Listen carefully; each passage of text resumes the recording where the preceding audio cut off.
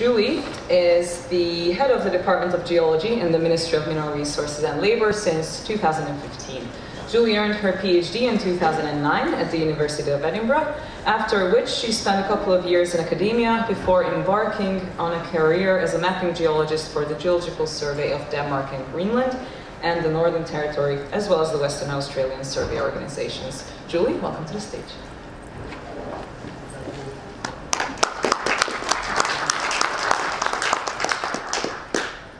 Thank you very much, Anna. And if you're wondering how I packed all that in since 2009, I actually got my PhD in 2000. um, all right, that's fine. okay, so I'm going to talk a little bit uh, about mineral potential in Greenland now. So to begin with, all of these commodities have something in common. And that is they have all been mined or are currently being mined in Greenland. There's, there has been mining in Greenland since the 1800s. And today, as you may know, there are two operating mines. Um, we have a ruby and pink sapphire mine, and also a feldspar mine on the west coast. And these commodities, well, there are significant occurrences of all of these commodities in Greenland, as well as others.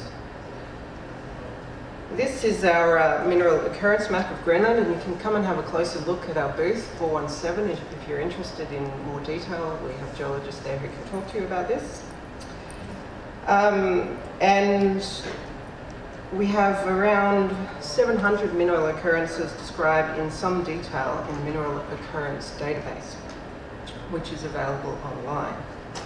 These occurrences include a spectrum of different commodities and mineralisation types.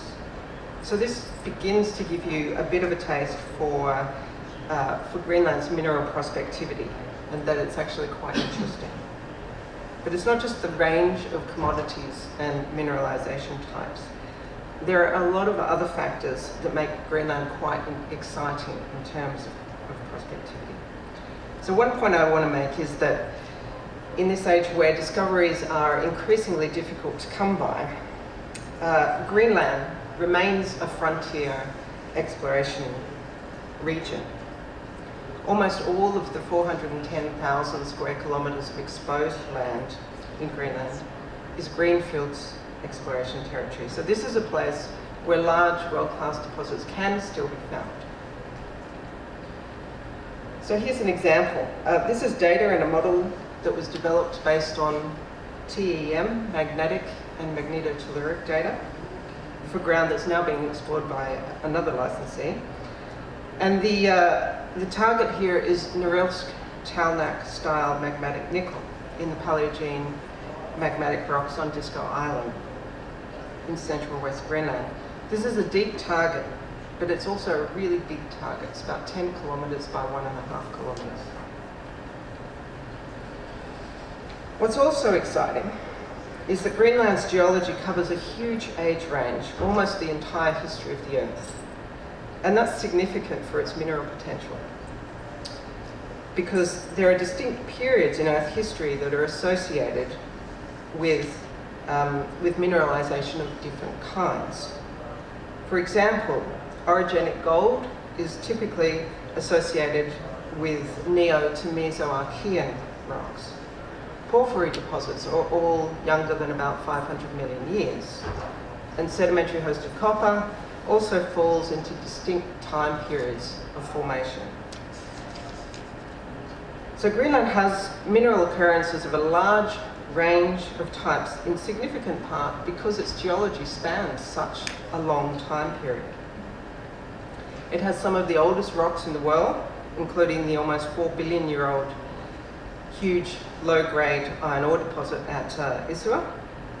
But the bulk of Greenland is also um, either paleo to neo-Archean crust. So not, all, not only all of that pink area, which comprises the North Atlantic craton, but all of the orange rocks uh, further to the north, on the west, and on the southeast coast, and extending right underneath the ice, right up into, to, to the edge of the ice in North Greenland. These are all Archean rocks. And as I'll cover, we also have orogens, rifts, sedimentary basins, and intrusions that cover the spectrum from Proterozoic right through to the Cenozoic. So because Greenland's rocks span such a long time period, there's also a diverse range of geological environments, which in turn means that there's mineral potential for a diverse range of commodities and mineralization styles. Parts of the Archean are prospective for orogenic gold, magmatic nickel sulfides, chromite, titanium vanadium, and in a range of geological environments such as those that you can see illustrated here. We also have a series of Proterozoic orogenic belts, including the juvenile Ketilidian orogen in South Greenland, and other Proterozoic orogens, including the Nagssugtoqidian orogen in West Greenland, which, is, uh, which extends under the ice to the correlative Massilik mobile belt in the southeast, and further north on the west coast, the Rinkian orogen. All of these have deformed and metamorphosed older Archean rocks. And then also the Inglefield mobile belt in far northwest Greenland.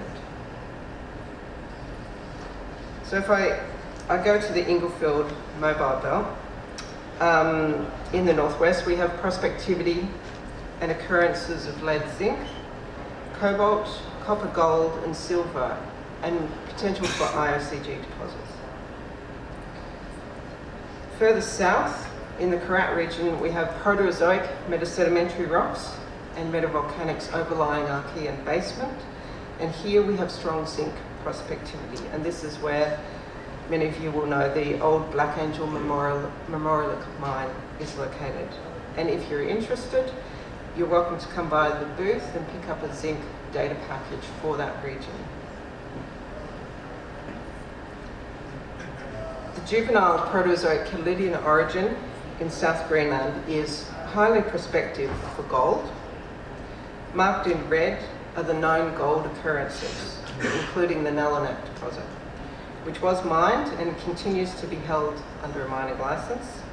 And there are other highly prospective areas nearby, such as the Vagar prospect. Uh, and both of these, Nalunaq and Vagar, are held under a license by Nalunaq. Also in South Greenland, we saw the initial stages of rifting in the Mesoproterozoic, leading to the emplacement of alkaline magmatic rocks of the Gardar province, which are shown in these dark red colours here. And this includes intrusions strongly enriched in rare earth elements and uranium, but also zirconium, tantalum, niobium and zinc, which you'll hear more about in presentations from Tanbreez and Greenland Minerals. And there continues to be um, much prospectivity for rare earth elements throughout this belt. The Caledonian orogen in East Greenland relates to the collision around 400 million years ago of East Greenland, which was then part of North America, with Europe, resulting in a fold and thrust belt and a series of granite intrusions. This orogeny deformed basement Paleo and Neoproterozoic supracrustal rocks, and large-scale structures along the caledonides are host to a wide range of commodities, including tin, tungsten, gold, lead, and zinc. And Neoproterozoic and younger rocks in East Greenland are also highly prospective for sedimentary hosted copper. Moving further north and overlapping in time with the Caledonian orogeny is the Cambrian to Devonian shallow marine Franklinian basin in North Greenland. Here, there's zinc anomalism on a regional scale related to both SEDEX and Mississippi Valley type mineralization. And this is where the Citronen Fjord deposit lies in the, in the far northeast, which is being developed by Ironbark Zinc. And if you're interested in the Franklinian Basin and zinc prospectivity in this region, you can also pick up a zinc data package from our booth 417. In West Greenland, we have diamond-bearing kimberlites and ailikites that are neoproterozoic and younger. Greenland is the source of the largest diamond recovered in early exploration in the North American Shield area, and it has all of the geological requirements to expect diamond, but considerable areas are almost completely unexplored. In the middle of this year, we expect to release a new diamond data compilation for Greenland, which builds on an earlier version uh, from the early 2000s. And this is important now because the diamond industry is picking up, particularly in Australia and Southern Africa, and there is a shortfall in production. While the summary maps that are shown here extend from Kap Farvel in the south to Upernavik in the north on the west coast, the final product will also include locations from North and East Greenland. We have a Paleogene large igneous province in east and west Greenland, which you can see in these uh, dark blue-grey colours. And this province has associated molybdenum and gold-enriched porphyries such as Malmbjerg and Flammefjeld. And also the Skaergård gold platinum group element enriched layered intrusion, as well as potential for Norilsk style magmatic nickel. And let's look at what we might expect in terms of economic mineral deposits in Greenland if we compare with correlative geology in Arctic Canada and Scandinavia. In Arctic Canada, we have, as you can see, correlative Archean basement and Paleoproterozoic Paleoproterozoic orogens. We have similar alkaline magmatism associated with diamonds, and we have the Franklinian Basin, which hosts a rich zinc. We know we have a lot of mineral occurrences of different types.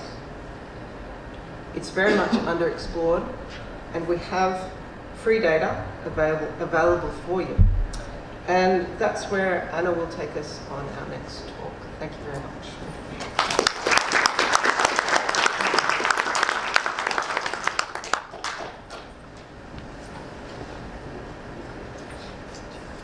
So, I'll now introduce Anna, who you've been seeing all, all morning. Anna is a structural geologist with a PhD from the University of Glasgow in Scotland.